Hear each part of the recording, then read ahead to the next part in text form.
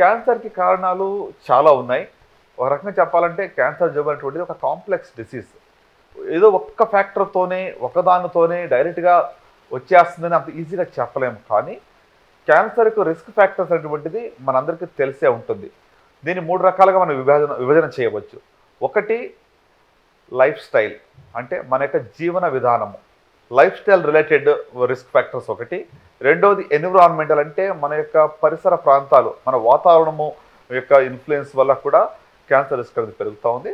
మూడోదిగా behavioural risk factors అంటే మన యొక్క కొన్ని అలవాట్లు బట్టి ప్రత్యేకంగా మన యొక్క మరి లైఫ్ స్టైల్లో కాకుండా కూడా మన యొక్క బిహేవియర్ని బట్టి కూడా కొన్ని రిస్క్ ఫ్యాక్టర్స్ అనేది కనబడుతూ ఉంటాయి. సింపుల్గా చెప్పాలంటే క్యాన్సర్ రిస్క్ ఫ్యాక్టర్స్లో ఇప్పుడు లైఫ్ స్టైల్ అనగానే మనకు గుర్తొచ్చేటువంటిది ఏంటంటే టొబాకో యూసేజ్ అంటే పొగాకు సేవించడం పొగాకు నమలటం కావచ్చు లేకుంటే పొగాకు మరి పీల్చుకోవడం కావచ్చు అంటే పొగ సేవించడం ఇది ముప్పై నుంచి నలభై శాతం క్యాన్సర్ కారణంగా కనబడతా ఉంటుంది. అలాగనే మరి లైఫ్ స్టైల్ గురించి ఆలోచిస్తే టొబాకో స్మోకింగ్ తర్వాత మనం ఆలోచించినట్లయితే అధికంగా మద్యపానం సేవించడం ఎక్సెసివ్ కన్జంప్షన్ ఆఫ్ ఆల్కహాల్ అటువంటిది ఒక సిగ్నిఫికెంట్ రిస్క్ ఫ్యాక్టర్గా మనం భావించవచ్చు. అట్లానే మరి ఇంకా other risk factors life style గురించి చూస్తే ఒబిసిటీ అనేటువంటిది రిస్క్ ఫ్యాక్టర్. ఊబకాయము ఎక్కువగా ఉన్న వాళ్ళలో క్యాన్సర్ రిస్క్ అనేటువంటిది పెరుగుతూ ఉంటుంది. అట్లనే మరి ఇంకా లైఫ్ స్టైల్ గురించి చూస్తే ఫిజికల్ యాక్టివిటీ లేకపోవటం అంటే శారీరక వ్యాయామం అనేటువంటిది లేకపోవటం అ- అంత మాత్రం కాదు. మరి వీళ్ళలో ఎక్కువ మంది ఆహారపు అలవాట్లు ప్రత్యేకంగా మరి ఎక్కువగా అన్హెల్దీ డయట్ అంటే ఒక ఆరోగ్యానికి ఎంతో హానికరమైన డయట్ ఈ రోజుల్లో ప్రత్యేకంగా యువత తీసుకుంటూ ఉంటుంది. మనం చూసినట్లయితే ఎక్కువగా ఫ్యాటీ కంటెంట్స్ కావచ్చు అధికంగా మరి లేకుంటే ప్రాసెస్డ్ మీట్ కావచ్చు రెడ్ మీట్ కావచ్చు ఇవన్నీ కూడా అధిక మోతాదులో మరి యువత ఈరోజు తీసుకుంటా ఉంది. అంటే అన్హెల్దీ డయట్ అనేటువంటిది కూడా ఒక లైఫ్ స్టైల్ రిస్క్ ఫ్యాక్టర్గా మనం భావించవచ్చు. సో నేను ఎప్పుడూ ఒక విషయం చెప్తూ ఉంటాను. సింపుల్గా చెప్పాలంటే నాలుగు దీర్ఘకాల జబ్బులకు నాలుగు మోడిఫైబుల్ రిస్క్ ఫ్యాక్టర్స్ ఉన్నాయి.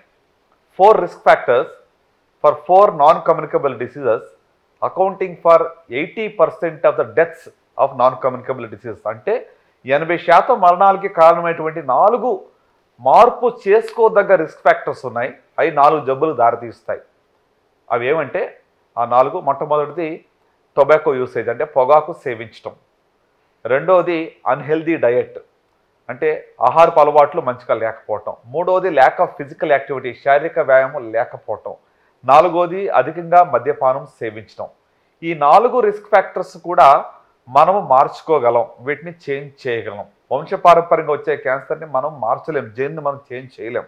కానీ ఈ నాలుగు రిస్క్ ఫ్యాక్టర్స్ అయితే ఉన్నాయో వీటిని మనం పూర్తిగా మార్చగలం. ఈ నాలుగు కూడా నాలుగు దీర్ఘకాలిక జబ్బులకు దారితీస్తాయి. ఏంటి ఏంటి అంటే ఒకటి క్యాన్సరు రెండవది గుండె జబ్బులు మూడవది డయాబెటీస్ మెలైటస్ లేకుంటే మధుమేహం అంటాము నాలుగవది లంగ్ ప్రాబ్లమ్స్ అంటే పల్మరీ ఇష్యూస్ అంటే ఊపిరితిత్తుల యొక్క జబ్బులు. ఈ నాలుగు జబ్బులు ఈ నాలుగు కారణాల వల్ల వస్తాయి.